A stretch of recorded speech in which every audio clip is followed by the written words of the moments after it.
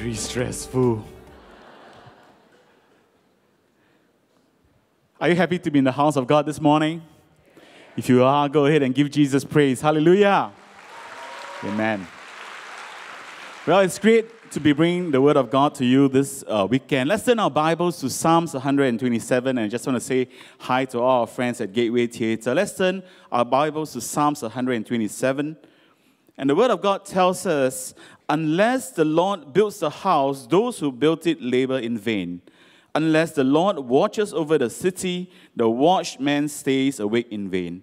It is in vain that you rise up early and go late to rest, eating the bread of anxious toil, for he gives to his beloved sleep. Behold, children are a heritage from the Lord, the fruit of the womb a reward. Like arrows in the hand of a warrior are the children of one's youth. Blessed is the man who fills his quiver with them. He shall not be put to shame when he speaks with his enemies in the gates. Let's pray together.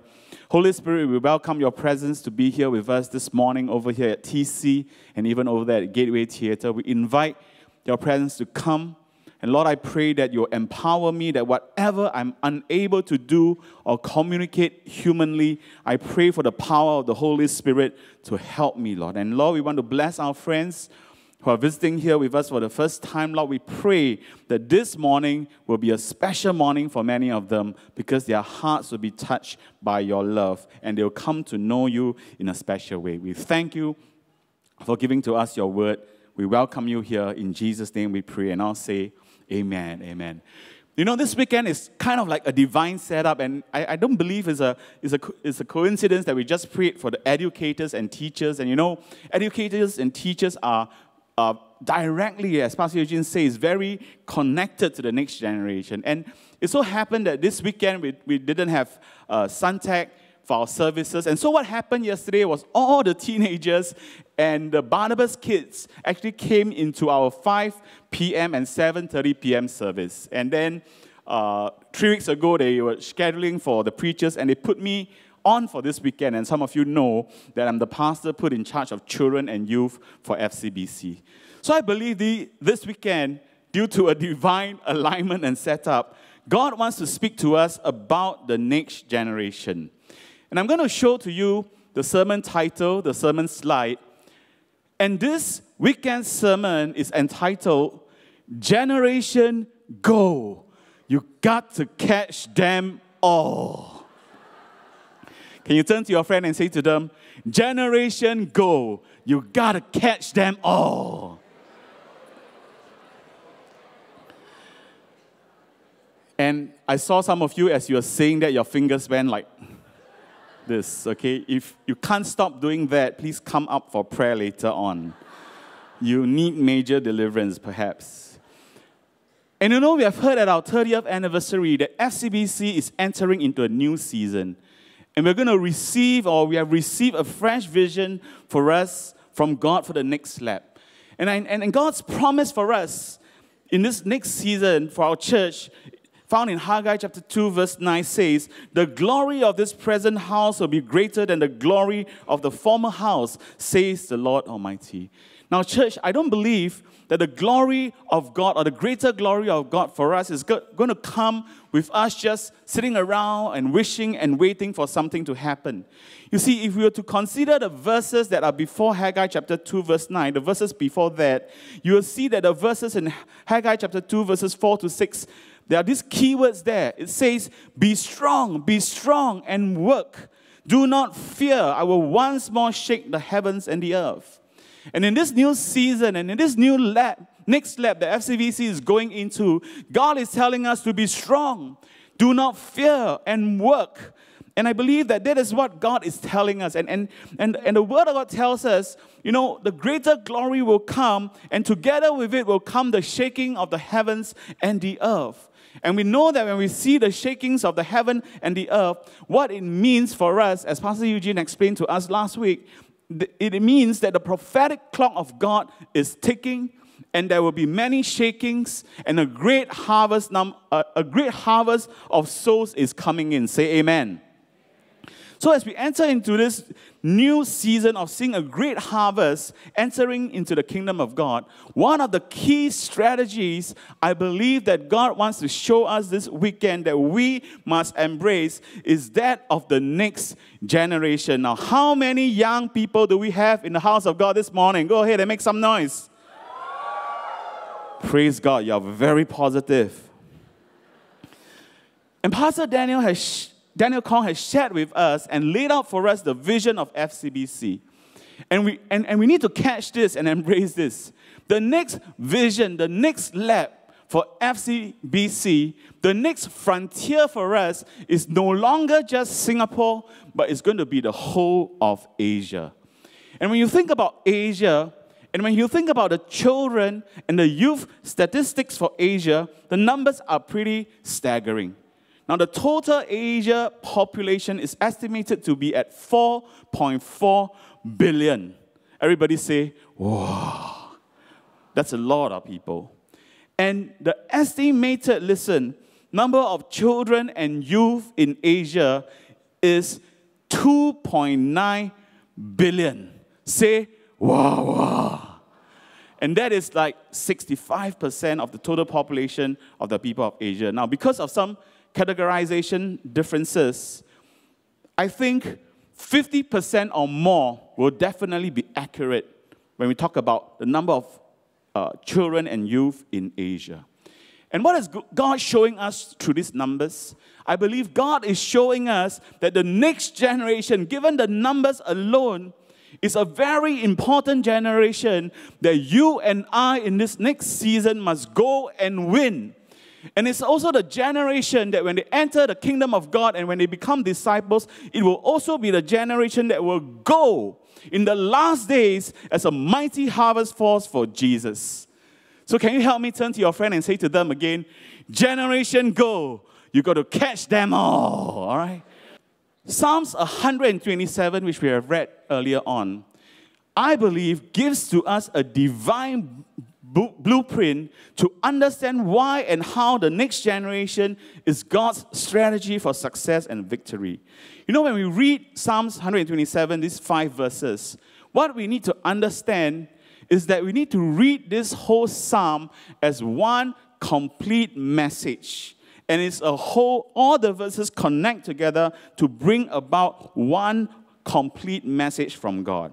And the, and the Psalms begins with an important premise. It says in Psalms 127, verses 1 to 2, it says, Unless the Lord builds the house, those who built it labor in vain. Unless the Lord watches over the city, the watchman stays awake in vain. It is in vain that you rise up early and go to go late to rest, eating the bread of anxious toil, for he gives to his beloved sleep. Now, church, listen.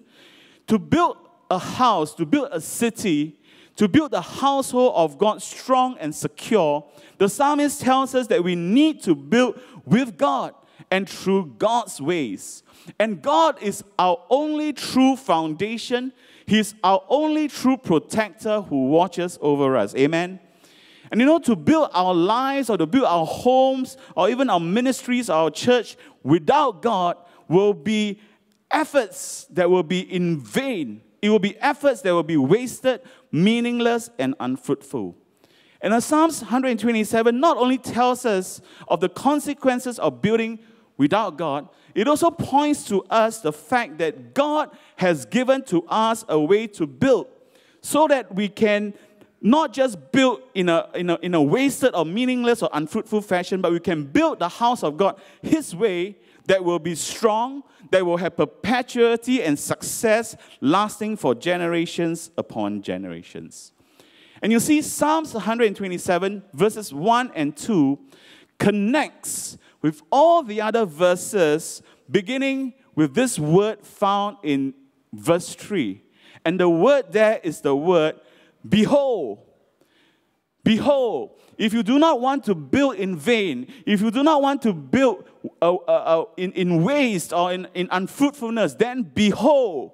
So, in order not to build in vain, we need to behold, we need to see, we need to be sure to see, we need to be sure not to miss what is God showing us. And what does God want us to see? Well, God wants us to see in this season in this next lab his strategy, his key strategies for us to build FCBC strong so that we can experience his greater glory. And so this weekend we come to receive, to see, and to receive the heart of God, his plan for the next generation. And we come this weekend to answer this question why must we have a heart to go and reach the next generation? Why must we have a heart to go and reach the next generation? Number one, we must have a heart to go and reach the next generation because they are our inheritance, and therefore we need to embrace the next generation as a blessing for the church. Turn to your friend and say to them, It's your inheritance. Turn to the other friend and say, It's your blessing. If you are sitting beside nobody, just turn to yourself and say that, all right? Psalms 127, verse 3 says, Behold, children are heritage from the Lord, the fruits of the womb a reward. Psalms 127, verse 3 in the Young's literal translation gives us a clearer idea. It says, Lo, an inheritance of Jehovah are sons. A reward is the fruit of the womb. Brothers and sisters, FCBC, the next generation is God's inheritance and blessing for the church. In fact, it is God's blessing and inheritance and pattern for every city, every nation. And that is why one important application, even out of these verses, is that we need to pray for Singapore's low birth rate figures so that we, we, can, we can see a turnaround and being blessed. And, and, and, and listen to me very carefully. When we talk about the next generation this weekend, we are not just talking about the biological children that we have in FCBC, meaning your sons, your daughters that you have brought into uh, church because you gave birth to them. All right? When we talk about the next generation that God wants to bless us with, we are talking not just about the biological, but we're talking about the many, many more children and young people that are outside the four walls of the church that God wants us to go and reach. You see, brothers and sisters, the next generation, it is on the very heartbeat of God, given to us even in the Abrahamic covenant. Genesis chapter 22, verse 17 to 18 tells us, I will surely bless you, God says. I'll make your descendants as numerous as the stars in the sky and as the sand on the seashore. Your descendants will take possession of the cities of their enemies, and through your offspring, all nations of earth will be blessed because you have obeyed me. And reaching the next generation, I believe, is the crucial and critical and perhaps the only way that the knowledge of God can spread and cover over the whole earth like the waters cover over the sea. Psalms 145, verses 4 to 6 tells us One generation will declare your works to the next and will proclaim your mighty acts. I will speak of your splendor and your glorious majesty and your wondrous, wonderful works. They will proclaim, they will proclaim the power of your awe inspiring acts, and I will declare your greatness. Listen, church. If we lose and if we do not secure the next generation, then you and I will not be able to pass on our faith and the message of God, and there will be no continuity or succession. And that is a, a worrying uh, threat, trend that we are seeing happen in many, many churches all around the world. And you know, if you think about the Great Commission that God has given to us to go and make disciples, the Great Commission is actually about making and reproducing disciples, meaning it's about birthing, birthing, and passing on faith to the next generation. And I think when we think about Jesus and how he made disciples and the disciples whom he called, I believe Jesus carried in his heart the strategy and the heartbeat of God even for the next generation. Now look at John chapter 13, verses 30, uh, verse 33. And the Bible tells us Jesus was speaking and teaching the disciples. And he says to them, Little children, yet a little while I am with you. And, and Jesus, in these verses, was going towards the end of his ministry. He was going to come to a time where he'll be going to the cross. And he addresses his disciples as little children. Now, there's something interesting here that we may have missed out as an important strategy and model given to us by our Lord Jesus Christ. Now, what, what, what can we see from here? Bible scholars, as they've looked through the lens of the historical context in the days of Jesus, they discovered that actually Jesus' 12 disciples were young. Almost all of them were under the age of 18, and some as young as 15 years old. Now, let me ask you a question. How many of you came to know Jesus when you were 25 years or younger? Wow. All right. A big number of you. And I think there's something here God is speaking to us about. And Jesus did exactly that to call his disciples when they were below the age of 20. And I believe God is speaking to us in this next season of our church that we must begin to prioritize the children and youth as our target for evangelism and discipleship. Now, listen to me very carefully, church. When we talk about having children and youth as our priority, when we talk about reaching the children and youth, we're not talking just about having a department or a ministry in the church that is called children's ministry or youth ministry.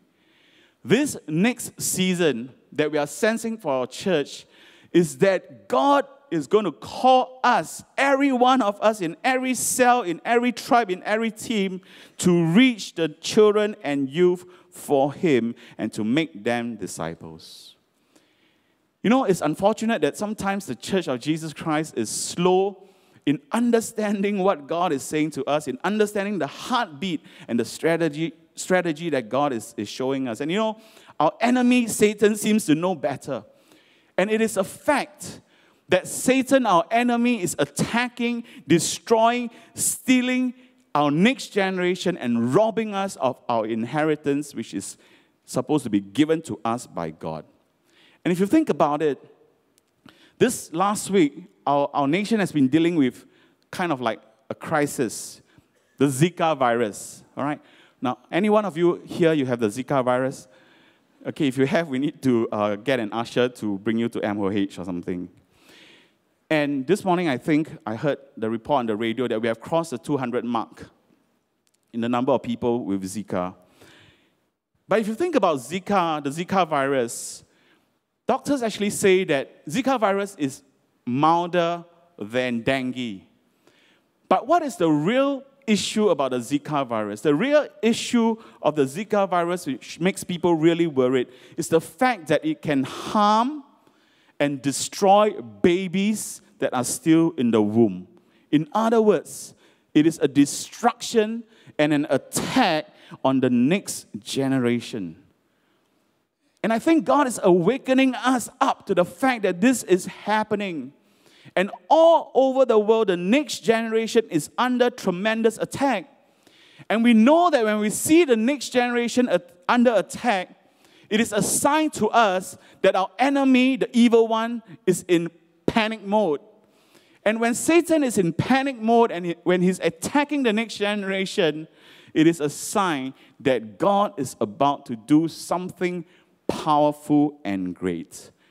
Now, I keep very close to me a stack of slides and I try to update them as often as I can to remind myself of how the evil one is attacking the next generation and, and why we need to do God's work. I'm going to show that, show them to you. And it comes from World Vision and some other sources. A raging war against boys and girls abortion, an estimated 56 million during the years 2010 to 2014, and that works out to be 125,000 abortions a day. Sexual violence and rape, 150 million girls and 73 million boys. Child soldiers, children, young children like my son, seven, eight years old, taught to kill. 300,000 worldwide. Child prostitution, 2 million worldwide. Child labor, 106 million worldwide. 78 million children are involved in child labor in Asia alone. Street children, 150 million worldwide. Malnutrition, hunger, disease, 600 million children in Asia and Africa. Orphans, 140 million children worldwide. And this next slide has just been updated. Teenage suicide, the report from Japan. 4,600 teens in Japan per year. 1 million suicide globally, 4,600 teens in Japan per year, 157,000 teens hospitalized for self inflicted injuries in Japan per year. We need to pray for Japan. Just in case we are not aware, we have FCBC Sendai in Japan, right? And God, and, and for some reason, the evil one is just destroying the next generation there. Youth in Singapore, and the numbers are concerning. One in four are admitted from suffering multiple symptoms of depression from the age between the age 18 to 25. Mental health is related issues. 600 youth treated in 2015 uh, in the Institute, Institute of Mental Health. Now, suicides, and, and we are told that the number is actually on the increase. And even as a youth pastor, I can tell you, we hear of cases of attempted suicide very often. And you look at the numbers there, it's close to 100 in the year 2015. There is an attack on the next generation, and there's an urgency for us to do something to claim and to fight and to redeem the next generation for God. Amen? Now, we're going to do this uh, just for the next 30 seconds prophetically. We're going to stand together and we're going to take authority through prayer over the Zika virus situation in Singapore. Can we do that? Amen? Let's stand together. Okay, can, let's move faster because all of you said you're young people, right? Three, two, one. okay.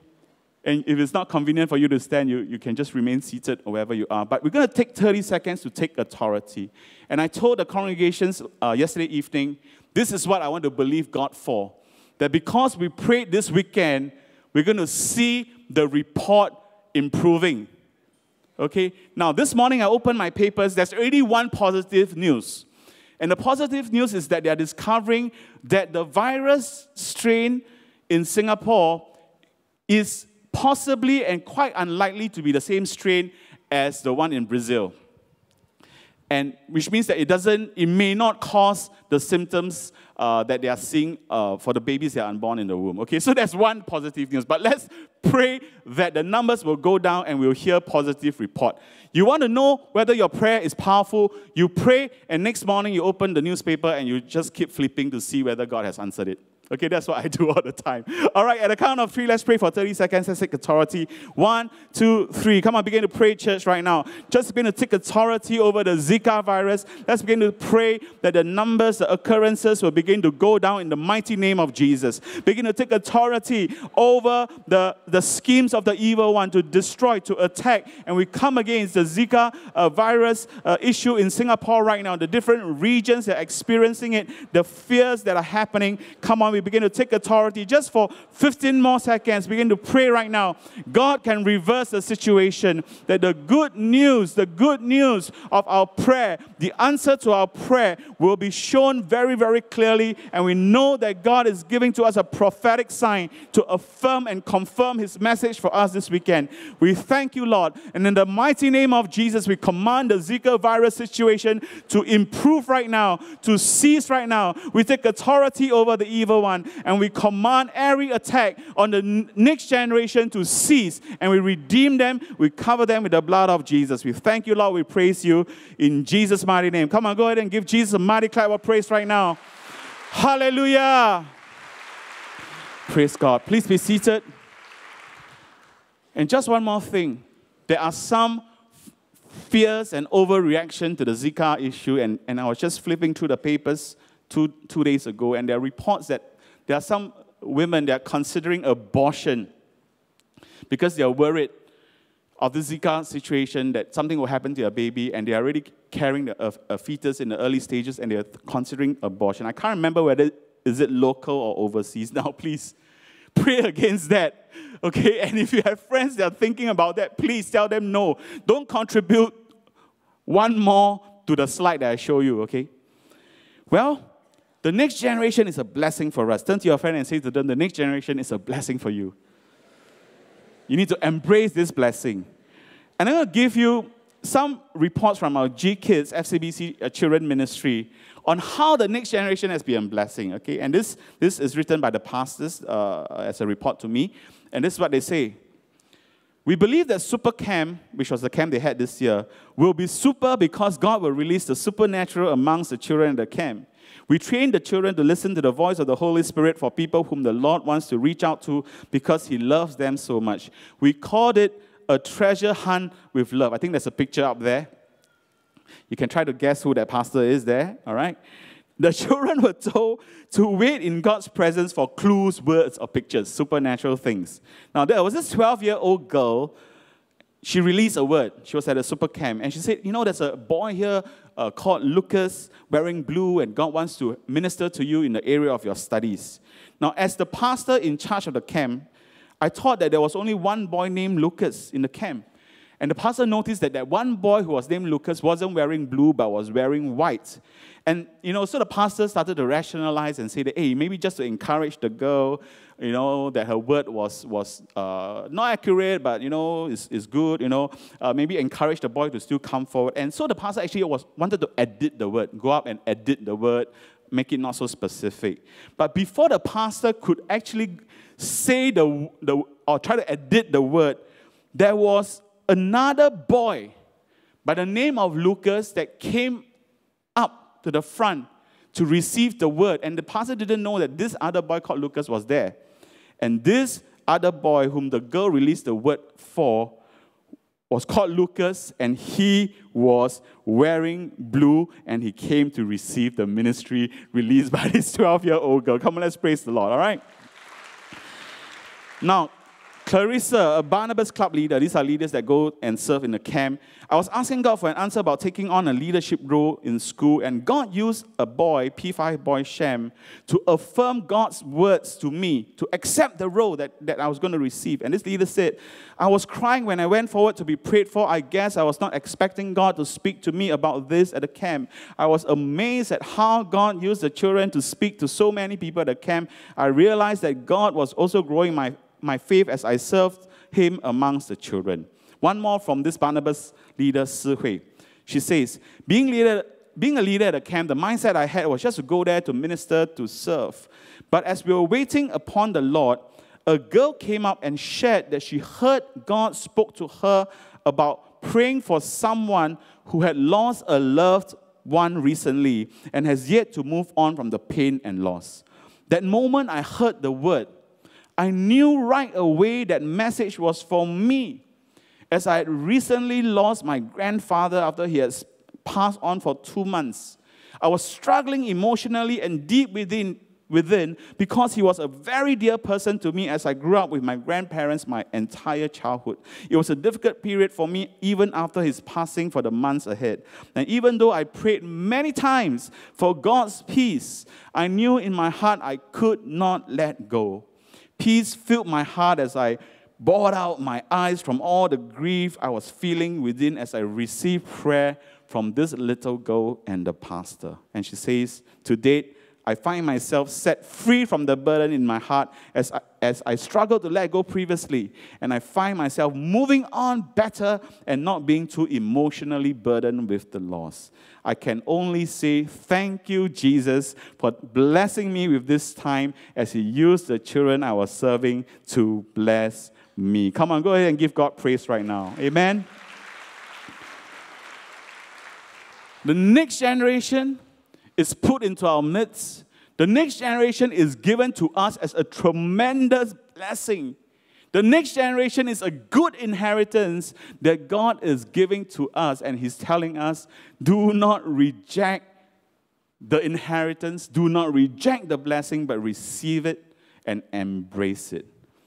And God wants us this weekend, church, to embrace the next generation, the children and the youth in our hearts. Malachi chapter 4, verses 5 to 6 says, Behold, I will send Elijah the prophet before the coming of the great and dreadful day of the Lord. He will turn the hearts of the fathers to the children and the hearts of the children to the fathers, lest I come and strike the earth with a curse. Parents, leaders, just listen to, to me uh, for a moment.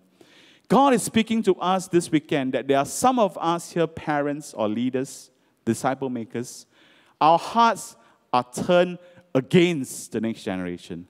Our hearts are turned against our own children, our own teenagers that we are bringing up because of perhaps disappointment, perhaps because of the challenges that we are facing in trying to parent them, in trying to disciple them. Well, if that's how you're feeling, God says, don't do that. Instead, turn our hearts towards them and not against them and embrace them. And if you belong to the next generation, this is what God wants to say in turn to you. Don't rebel. Don't despise your parents or your leaders who are trying to parent you and trying to disciple you. And there are young people here, and yesterday there were many young people in the services. I told them, if you are rebelling against your parents and your leaders, you need to repent and be reconciled with them. You know why? Because Malachi tells us that when our hearts are turned against the parents, when our hearts are turned against the children and the next generation, vice versa, there will be a curse that will strike the land. It is a serious matter in the eyes of God. But when our hearts are not turned against, but instead turned towards the next generation, and the next generation's hearts are turned towards us, then God will come and bring about a breaking of the curses, and He'll release His blessings upon us and upon the nations of the earth. Amen. And if that's what you're carrying in your heart anger, hatred, disappointment, a sense of rebellion, vice versa, whether elders against the children or, or the other way around. When we open the time for ministry, come and allow the Lord to minister to you. So, why must we have a heart to go and reach the next generation? Number one, because they are our inheritance. And therefore, we need to embrace the next generation as a blessing for the church. Can you turn to me, turn to your friend, and help me tell them, embrace the next generation? Secondly, we must have a heart to reach the next generation because not only are they our inheritance, they are our warriors. And therefore, we need to, we have to empower the next generation as transformers to the nations. Psalms 127, verses 4 to 5, gives to us this picture. It says, Like arrows in the hand of a warrior are the children of one's youth. Blessed is the man who fills his quiver with them. He shall not be put to shame when he speaks with his enemies in the gate. Now, there are powerful imageries given, us to hear, given to us here from God's word. First, there's the imagery of the quiver full of arrows. Now, if you think about a quiver that has no arrows, or if you think about a quiver that is running out of arrows, it's not going to be much use against the enemy. In fact, you'll lose the fight against the enemy the moment your quiver starts to run out of arrows, right? How many of you have seen people when they are fighting, you know, even using arrows, etc.? How many of you have seen them when they run out of arrows, they use the quiver and just the bow and try to throw at the enemy and say, You, you, you, going to die, okay? Uh, it's not going to work. You need the arrows. And God is speaking to us as a church that we must not run out of the next generation, but we need to keep filling up our church with the next generation by going out to reach them. And one application for us as a church is this FCBC currently is about 30% children and youth, meaning that we have 30% of the congregation that are children and youth. And that is a good number.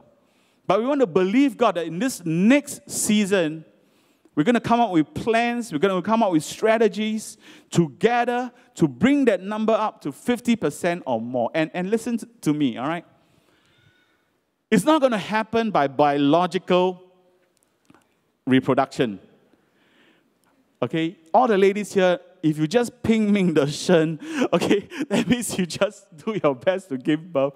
It's not going to happen because we know that the, we know that the figures are, are, are not, uh, not positive. So it's not just going to happen by biological, we cannot depend on biological replacement to bring the numbers up to 40% or 50%. In fact, if we depend on biological replacement, which some churches make the mistake of doing, is going to keep going down to very, very low numbers.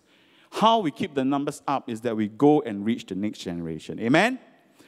Now, so that's the imagery of the quiver full of arrows. Then there's the imagery of arrows in the hand of a warrior. You have a picture there. Can you see the arm with the arrow? Okay, those, those are my arm. No, just kidding, right? Now, the arrows of the olden times, that you have watched movies, have watched uh, pictures, arrows of the olden times need to be sharpened, right? And, and the stick that carries the arrow needs to be shaped and bended to make sure that the sharp arrowhead and, and, and the precise the precision of the stick would fly with deadly precision. And, and, and when you think about the one who fires the arrow, what finally makes the difference is that the warrior who fires the arrows is a person with steady hands and is experienced and is seasoned in firing the arrows. Now, church, God is saying to us that without our discipleship, mentoring, sharpening of the next generation, they cannot be launched effectively into their God given destinies.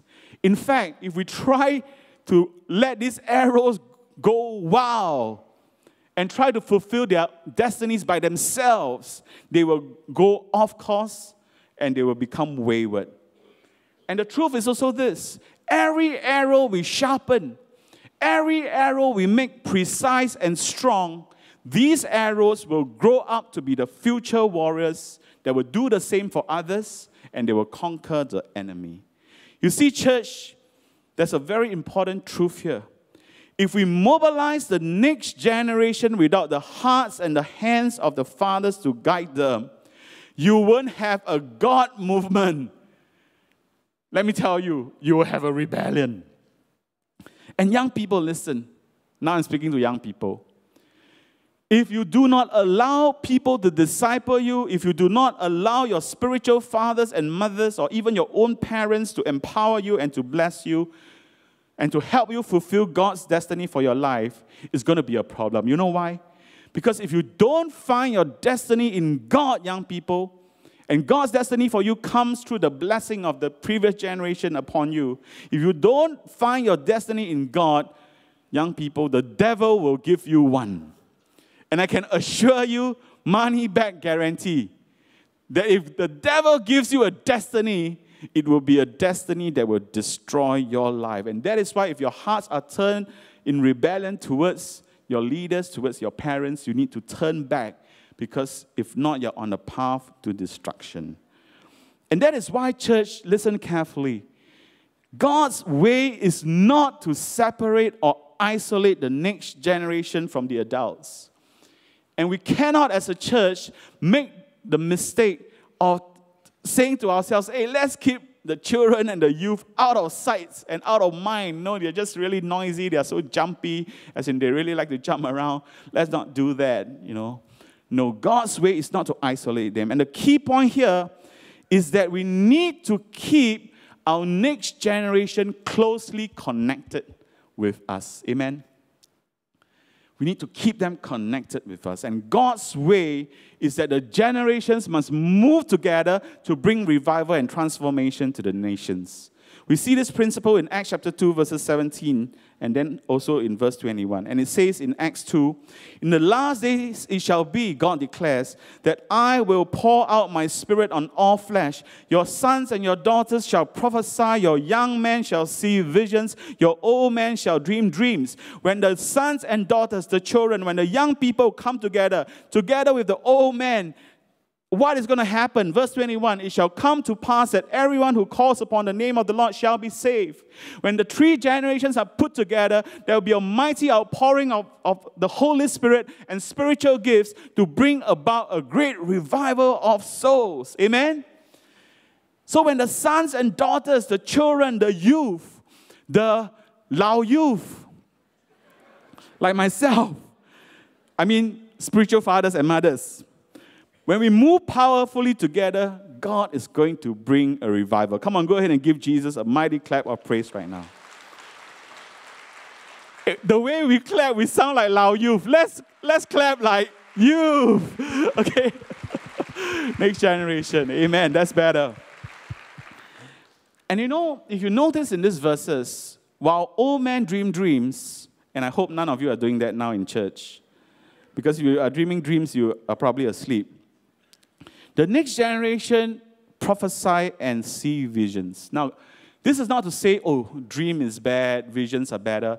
These are just descriptions of God's given anointing and God's given role to the different generations. And God's given anointing for the children and the youth is that they are futuristic, is that they are action oriented, is that they are transformational. And when we move together with them, listen, we can begin to confront and speak against the enemy and take authority and take down our spiritual enemies at the gate. And that is why Psalms 127, the last verse tells us, we will not be ashamed.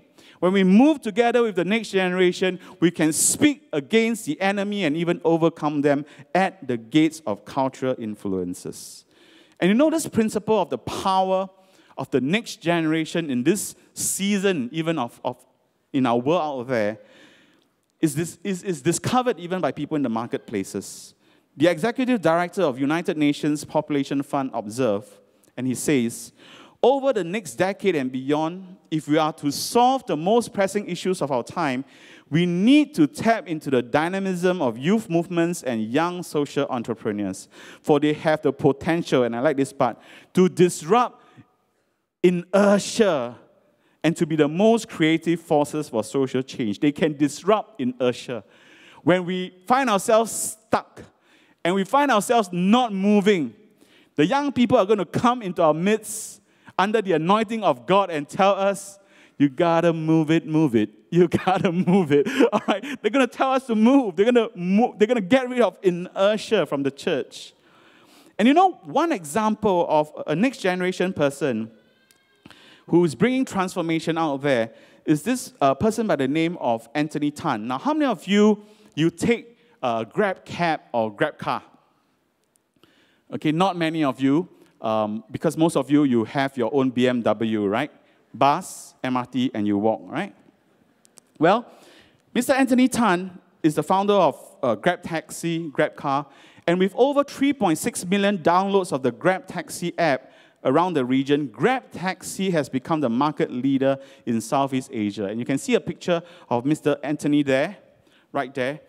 And he's actually a believer, and he spoke at a marketplace ministry event in Singapore last year. And this was written about him. Listen to what was written about him. Simply put, Anthony understood his life's mission, which was to make a social impact, a social impact by empowering the lives of taxi drivers and he was bold enough to walk in his divine destiny. Anthony was able to grab hold of the Father's blessings through the Abrahamic covenant, or grab hold of the Father's blessing. Maybe that's why he named his company Grab, okay? And Anthony credits God for 99.99% of his success. Very humble guy. He says, That's it. I'm just 0.01%. My contribution is merely being a part of the right family, being in the right schools, having the right partners, the right PR agency, the right media, and above all, being at the right place at the right time. Now, what is interesting about Anthony is that Anthony had godly counsel along the way that led him to uh, Grab Taxi's uh, success that we are seeing today. And they say this when faced with sabotage by his business enemies, I wonder which company that is, his first reaction was to retaliate. But listen, his mentor, Andy, Andy Mills, which, who is the former CEO, CEO at Thomson Financial and a fellow Harvard alumni, whom both met at the Christian Fellowship, advised restraint. And you know this Andy Mills, CEO, Thomson Financial, Harvard alumni person. You know what he advise Anthony when he wanted to uh, get back at his um, his competitors, this, this disciple said this Anthony, if Jesus was to run Grab Taxi, how will he deal with this? Wow. Very, very wise words, right? W, WWJD. What would Jesus do? And because of that, this life's man, this, this, this, this man's life is transformed. And one of the slogans for Grab Cab is transforming lives with every ride. Now, one young person came up to me and said, Pastor, Grab Taxi gave you commission, is it? To publicize for them? I said, no. okay. Um, maybe after service today, all of you will go and take Grab Taxi home or Grab car home because you want your life to be transformed with every ride. But jokes aside, this is a generation transformational warrior making a difference in the marketplace. And the key thing here is that someone believed and discipled him and empowered him to do what he's able to do today. Now, there are many parents and leaders, and they come to me and they ask me this question Pastor, can you give me that one advice about how, that one key about how to disciple my child or my youth? And over the years, I've taught, to, taught, taught through this question, and, I, and, and, and, and this is the answer I gave to them. You know, what empowers your, your child, or what empowers the youth that you're leading or discipling? What empowers them most?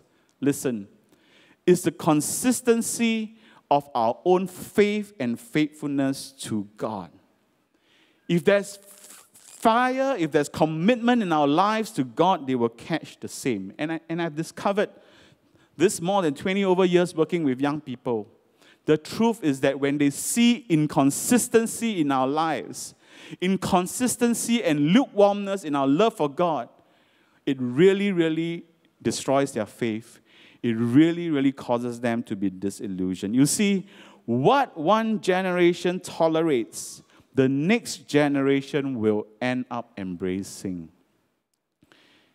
If, as leaders, if, as parents, we tolerate lukewarmness in our walk with God, if, as leaders, as parents, we tolerate impurity, we tolerate unholiness, we, we, we, we tolerate a, a, a cold hearted commitment to God, then they will catch and embrace the same. And this weekend in church, perhaps the starting point, or maybe even the restarting point, because we have messed up for, for some of us, is that we come back first and return to our first love for God so that we can have something to pass on, so that we can have the fire to pass on to the next generation. Amen. But I want to bring you a good report. I want to bring the church, the family, a good report that the next generation in this church is rising up. Amen? And they are doing great things for God and they're answering God's call and fulfilling their destiny. I'm going to give you uh, three testimonies of three pastors, next generation pastors that are working here in FCBC. I'm going to describe their stories to you.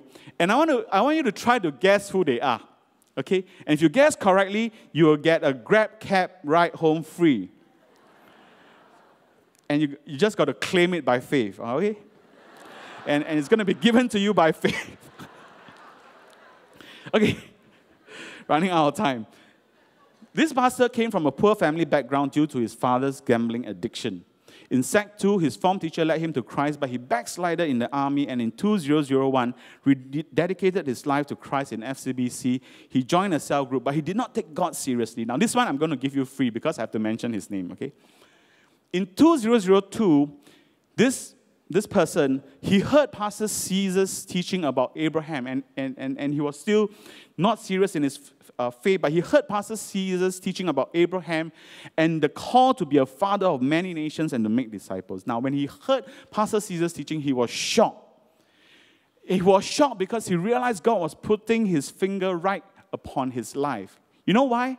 Because for 10 years, this pastor, whose Hanyu pinyin name is actually Guang Han, but for 10 years, his Han Yuping name has actually been spelled wrongly, and they spell it as Guang Ham, which is the surname of Abraham. All right, it's not surname, but Abraham.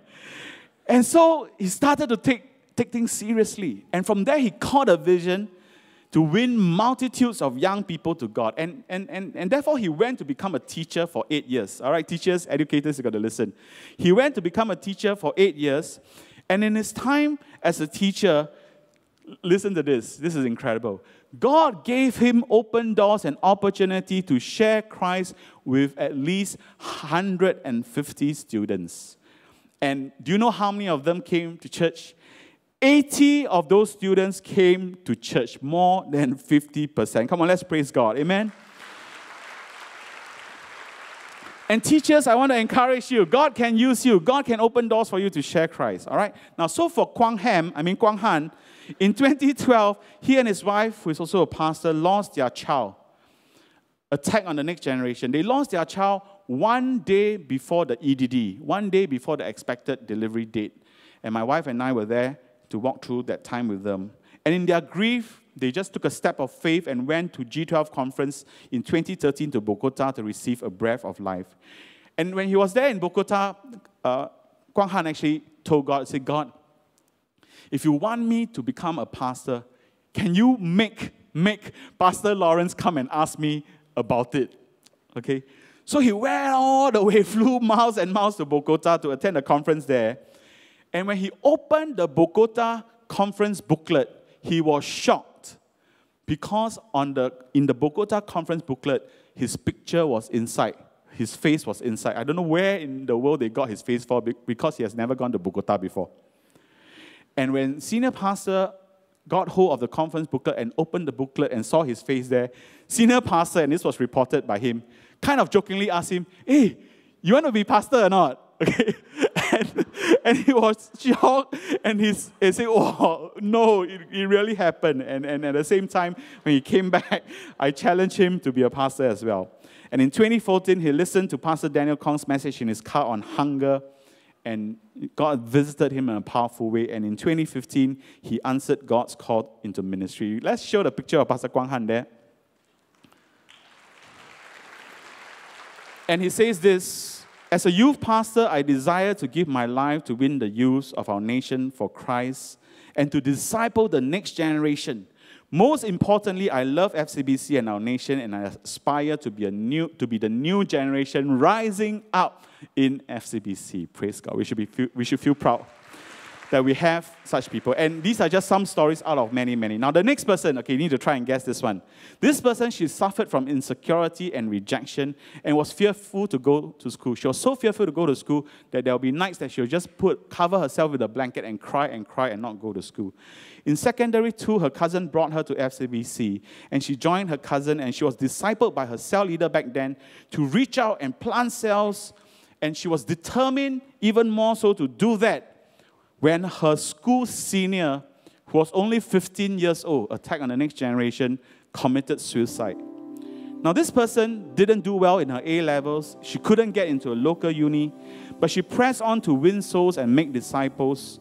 And while working part time, she served in the Girls' Brigade, she served in Touch Young Arrows, and back then, Gateway Entertainment was having this Chingay festival, and she went to serve there so that she can win people to the Lord. And at the same time, she was studying part time for a diploma in counseling. Seven years ago, she joined FCBC as a youth ministry staff, and she successfully worked on winning many, many teenagers through the Teens Excite program.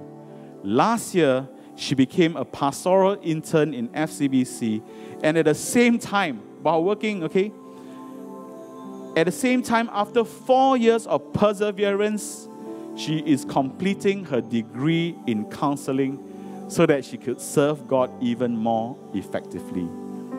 Now, this person is someone we see often on the screen. And when you see her on the screen, you cannot imagine that she struggled with insecurity and fear. And she's famous for two words See ya Pastor Charmaine. Let's, let's show her photo there. And Pastor Charmaine says, our next generation pastors, as long as there are opportunities to serve and reach out to the youth, I will go. It may be tiring at times, but seeing their lives being transformed is one of the greatest blessings as I serve. And also, as I went through those down moments during my growing up years, I understood the importance of young people having God in their lives, and that is why I must share the gospel. I'm going to give you the last person, okay? This person in secondary school, she was notorious. She was famous for her bad attitude and her bad grades. She mixed with bad company who took drugs and smoked. She said, she said the company took drugs and smoked. I don't know whether she took drugs and smoked or not. Now listen. At age 15, she was locked up for 12 hours behind bars at the Yio Chu Kang Police HQ for rioting with weapons. But it was actually the other gang that brought weapons. Later, when I show you her photo, you will really wonder she can, she can go gang fight, man. All right? Now, the interesting thing is that because the police intervened, it actually preserved her life because the other gang actually brought weapons. Her parents were very hurt and disappointed with what happened, but they chose to stand alongside her and prayed and interceded, interceded for her. And amazingly, the, pol- the police charges against her were dropped. She gave her life to Christ at age 15, the year that all these things happened.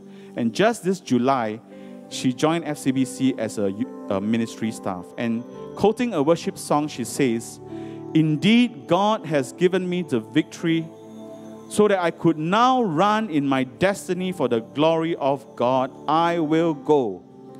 We must never give up on the next generation, no matter how difficult they may be, because God is at work. And this person, we see her leading us into the presence of God many, many times. She's a chili padi packed with the power of God. And it's our sister Cheryl. Let's give glory to God. Wow. These are just three of many stories of young people, whether they are in full time ministry or not, or just simply serving as lay leaders of the church, and things that they are doing out there in the campuses, in, in the universities, in the schools, wherever God has called them, they are doing great things for God, and they are the next generation that is in our church.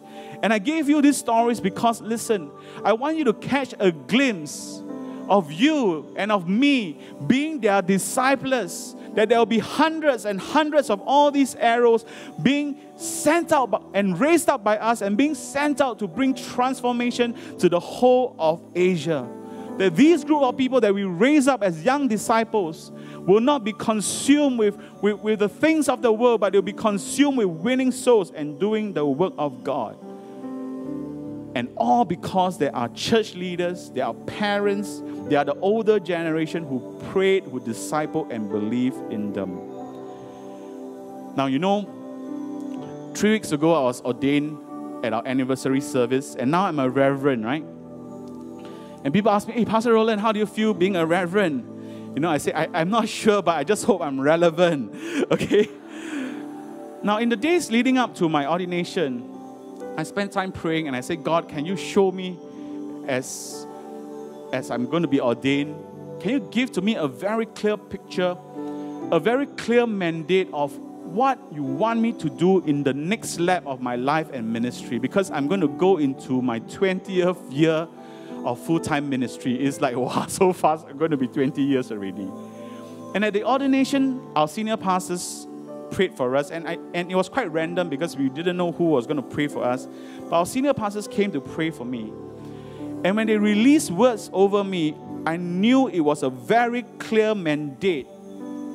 Actually, not just for me, though it was personalized for me, but it's not just for me. It was a very clear mandate for me, for my disciples, for my leaders, for my family, and even for us in FCBC. And I'm just a vessel to make and help us fulfill that which God calls us to do. I'm going to give you some excerpts Pastor Nina prayed this over me when she laid hands on me, and she says, I want to bless you, Roland, with creativity that God will supernaturally give you ways, new ways of leading our future, giving them all the old precepts of our Lord Jesus so that they can stand strong and be a front for kingdom living in the future, especially in Singapore, and therefore impacting our neighboring nations in Asia. And, and these words were the most touching for me. I bless you, Roland, with the love of Jesus for children, that every child you see in our church, in our neighborhood, you want to embrace them in Jesus's in Jesus' arms. And these words shook me up because at the G12 conference, there was a pastor who came to the conference for the first time and he's from Myanmar. And he was so excited to be at our conference that they printed 2017's calendar in advance. And he gave, and he was so excited, and he gave me the calendar from Myanmar. And when I opened up the calendar for Myanmar, it was pictures after pictures of orphans from that country. And I'm not, I'm not exactly the kind of pastor that, oh, you know, I love to do orphanage work, you know. I, I know that that's not, how to say, my makeup. But I knew that God was saying something to me and to our church. That if those statistics that we see about the children and the next generation in Asia is true, then there must be something that we need to do about it in our next lab. And then Pastor Lawrence came and he prayed for me and he laid hands on me and he said, Pastor Roland, the Lord gives the Lord gives you a spirit of youthfulness. Now, this part I really like. Okay. You'll, be ne- you'll never be tired working with the youth.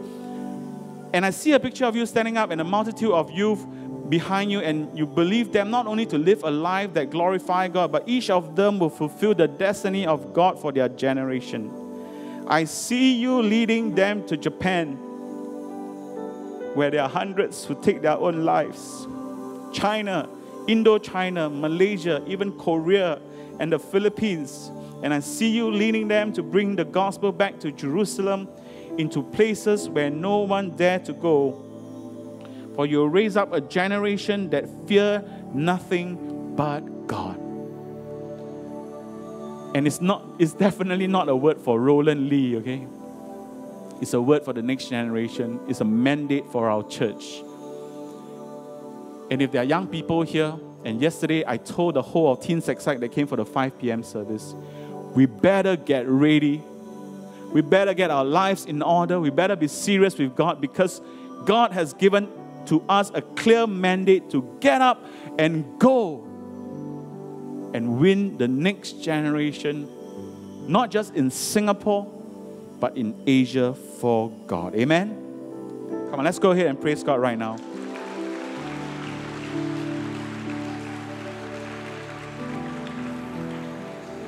I want to bring the service to a close and I want to say a word to our friends, whether over here at TC or over there at Gateway Theatre who are visiting with us for the very first time, and you have not invited Jesus Christ into your life, you're not yet a Christian.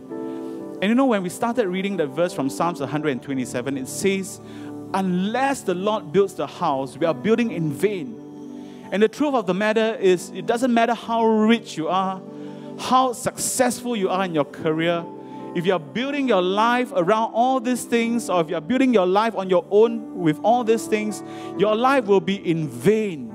Your life will be meaningless and empty if you are chasing after all these things in themselves. And perhaps there are some of us here, our lives are already breaking down because we don't have God. And the truth of the matter is that this morning, God can help us to rebuild. God can come into our lives and be that strong foundation, be that true foundation to build our lives so that our lives will not be built in vain. And some of you here who have not given your lives to Jesus Christ, the starting place for you is to open up your heart to Jesus and invite Him to come in so that Jesus can build your life with you. Jesus can rebuild your life if it's broken if your relationship in your family is broken, if your spouses are broken, if your parents are broken, Jesus can come and cause you and help you to have a restart and He can rebuild for you. Why don't we just right now, just close our eyes and bow our heads right now. We're going to bring the service to a close very soon. All across this place and even over at Gateway Theatre as well. For some of our friends here who have never invited Jesus to come into your heart, I'm going to give you an opportunity to do so. And what you need to do is to pray this prayer with me. And this prayer is designed for those of us who have never asked Jesus to come into our heart. And but, but more than just saying those words, it's the faith that you have in your heart when you pray that will bring Jesus into your life. And as you pray this prayer with me, word for word and line by line, all the friends here in FCBC, we will pray together along with you. All right. So with all heads closed, every head bow, all heads, uh, all eyes closed, and all heads bow. Pray this prayer together with me. If you have never asked Jesus into your life, but today you want Him to come in, pray this prayer together with me. Say, "Dear Lord Jesus." Dear Lord Jesus. Come, let's pray 10 times louder. Say, Dear Lord Jesus. Dear Lord Jesus. I open my heart to you this morning. I open my heart to you this morning. I need you to come into my life, Lord. I need you to come into my life, Lord. I need you to build my life with me. I need you to build my life with me. Come into my heart, Lord Jesus. Come into my heart, Lord Jesus. Cleanse me and wash me clean. Cleanse me and wash me clean. Remove the sins from my life. Remove the sins from my life. Be my friend and be my savior. Be my friend, and be my, my savior. I open my heart to you this morning. I open my heart to you this morning. And I welcome you in. And I welcome you in. Thank you, Jesus. Thank you, Jesus. With all eyes closed, every head bowed. If you have prayed that prayer with me for the very first time, I want to congratulate you and I want to know who you are. So if everyone's heads bowed and cl- eyes closed, except some leaders and, and, and people on duty. If you pray that prayer with me, this is what's going to happen. At the count of three, when you hear me count one, two, three, whether over here at TC or over there at Gateway Theatre, lift up your hands as an indication to me that, Pastor Roland, I prayed that prayer with you. I prayed that prayer with you so that I can bless you, I can see who you are, I can bless you, I can pray a prayer for you. All right? Count of three, lift up your hands without hesitation. One, two, three. Lift up your hands all across this place. Yeah, I see your hand there. Just keep it lifted. I see your hand there. People up there in the balcony, people over at Gateway Theatre as well.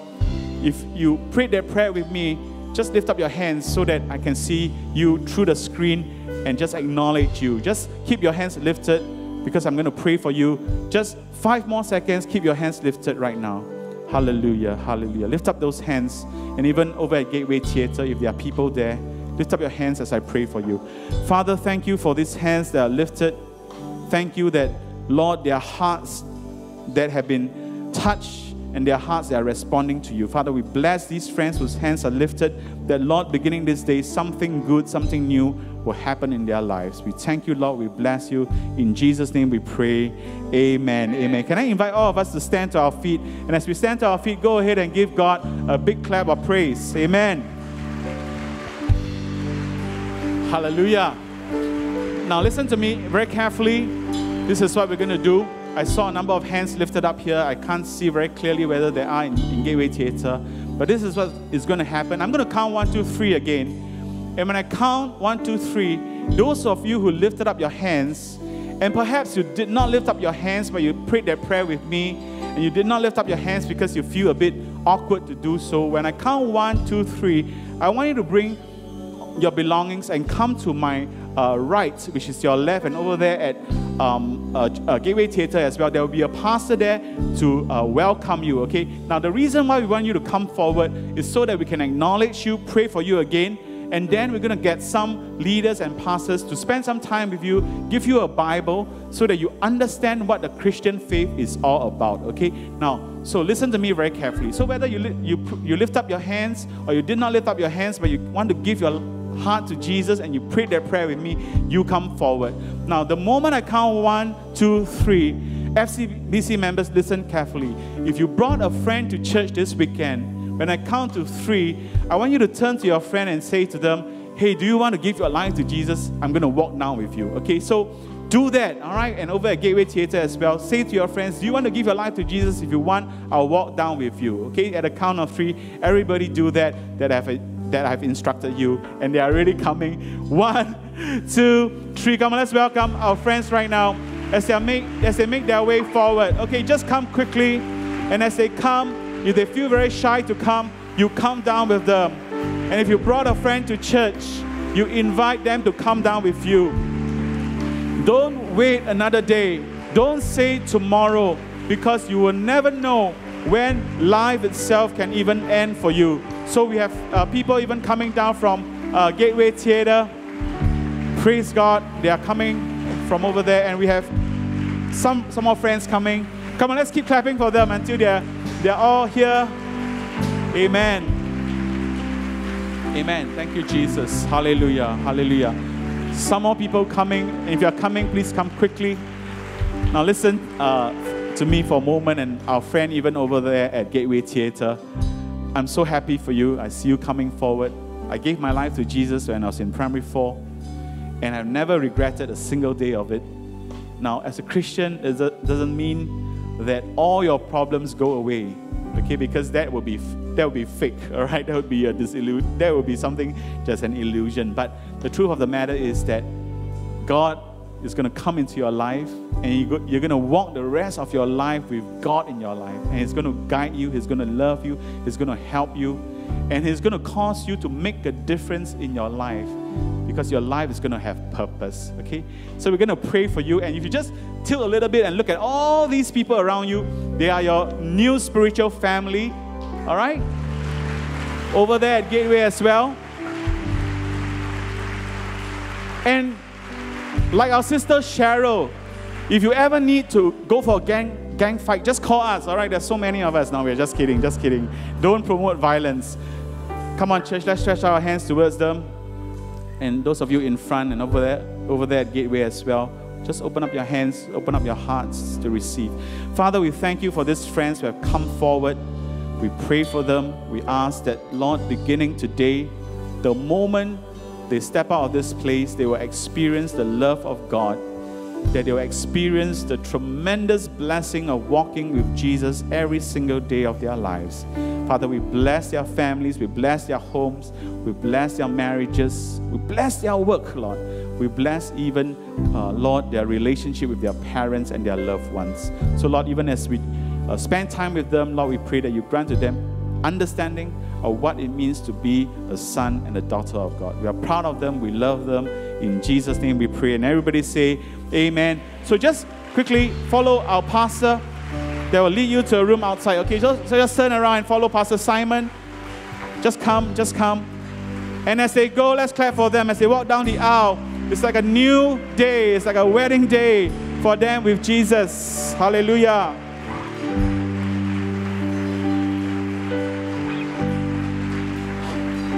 Praise God. Praise the Lord.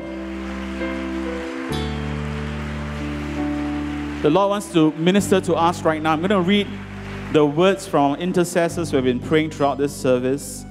There's a teacher here in our midst who has been discouraged at work, and you have been thinking of leaving the te- uh, teaching profession. Well, God is speaking to you today to embrace the next generation and turn your heart to the next generation. So if this word speaks to you, just come forward and allow the Lord to minister to you. A sister in the house is facing a, a failed marriage, and God wants to guide you, God wants to help you and console you. So if that's who you are, we don't need to identify you necessarily, but you just come and share with the one ministering so that they can come and pray for you. Someone, uh, the word, someone the Lord is saying to you, do not quench the spirit, trust and obey. This word is the Lord wants to give couples who have been praying for a child um, and it's your heart's desire. The Lord says, Come and receive this blessing that the Lord wants to give you. A boy in dark blue who has rebelled and hurt your parents, you need to come and seek forgiveness first from God and then be reconciled with your uh, parents. And there are also parents here who are having difficulty with your children raising your children and parenting, you come and we want to minister to you. But finally, I believe God has spoken to some of us, and you say, Lord, I want to receive an anointing to reach the next generation. And, and you don't have to be a young person. You can be an adult, you can be an old person, but you say, God, I want to receive an anointing for the next generation. And you have counted the cost and you're willing to pay the price. To go even to the next generation in Asia, you come forward and allow the Lord to fill you with His Holy Spirit. So the moment Pastor Roger leads us to sing, come quickly to receive ministry or perhaps other needs that you may have, come forward and we'll have pastors and leaders here to pray for you. Come, start to come right now. One, two, three. Just begin to make your way forward. Let's stretch our hands out to pray for these. And if there are some leaders, sisters, uh, we need your help to come forward to help to pray. We are uh, short of uh, ministry people, so leaders, we need you to come. And if you are there and you don't have someone praying for you, just indicate by lifting your hands right here in front, and someone is going to come to you. We have some sisters here on my left.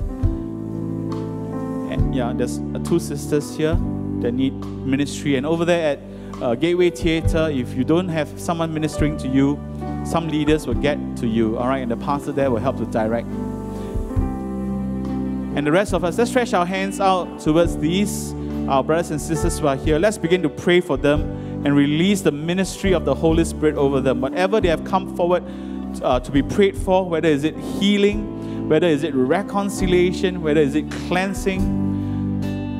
And some of you here, you're asking God for the gift in, and of fruitfulness in your womb begin to receive that miracle right now in the name of Jesus.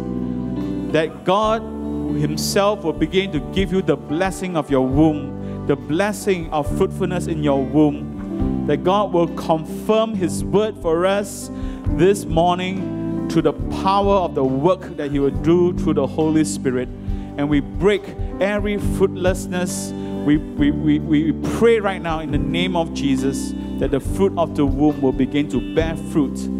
Yes, and we begin to ask for cleansing upon those that are just turning our hearts in repentance and coming back to turning our hearts towards the next generation or towards our leaders or towards our parents. We ask for the cleansing of the Lord and the restoration of the Lord.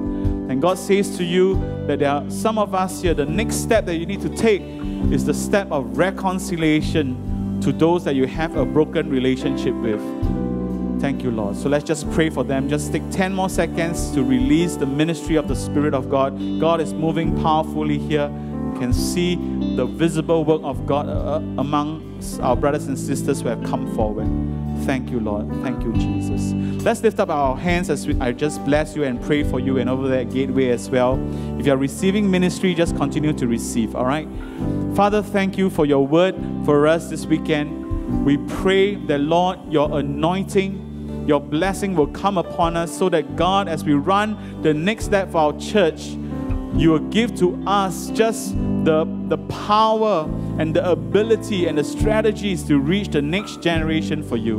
Lord, bless us as we go and cause us to walk strong in our faith so that we'll be able to pass on the glorious work of God from generation to generation. We thank you, Lord. We love you, Jesus. In your mighty name we pray. And everybody say, Amen. Amen. Amen. God bless you as you go. If you're receiving ministry, you can just linger here for a while more, allow people to minister to you. God bless you, and over at Gateway as well. God bless you. See you in church next week and bring a friend to church. Thank you.